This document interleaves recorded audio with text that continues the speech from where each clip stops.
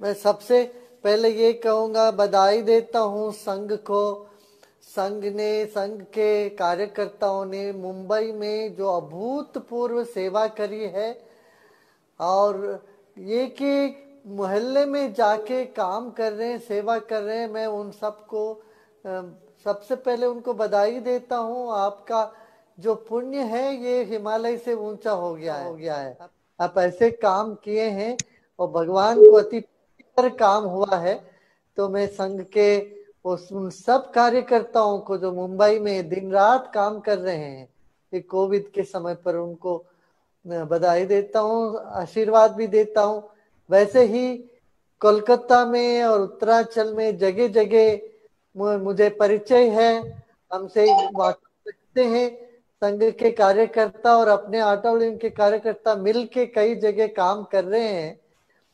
सेवा का प्रकल्प में सब लोग एक साथ कर रहे हैं और अच्छा काम हो रहा है। ये मानवीयता का